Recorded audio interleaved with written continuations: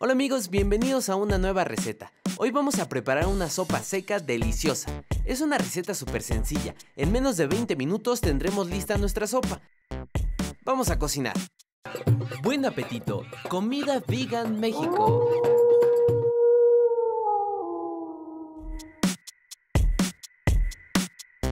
Los ingredientes para esta receta son 200 gramos de sopa de fideo, 500 gramos de jitomate, 2 chiles guajillo, un chile chipotle, cebolla y ajo.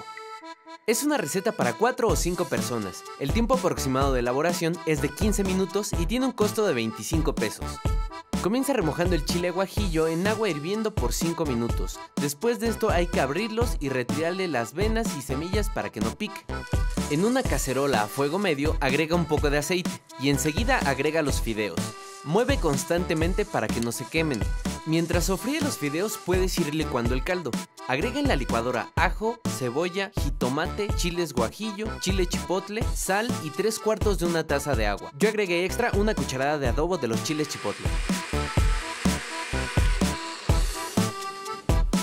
Ya que los fideos están de esta forma, entre un café y dorado, agrega el caldo. Puedes colarlo o no. Yo prefiero colarlo. A algunas personas no les agrada sentir las semillas o las cáscaras en el platillo.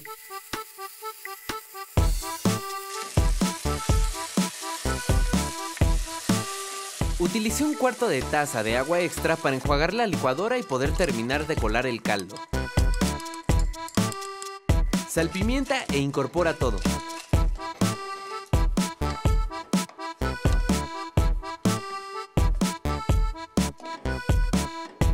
Por unos 5 minutos a fuego medio. Yo lo muevo cada 3 minutos para que se cosa parejo.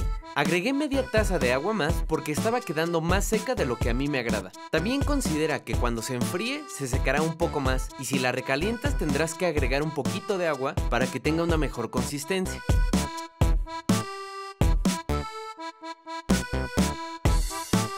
Después de 10 minutos el caldo ya se redujo y está bien guisado. Tienes lista tu sopa seca de fideos.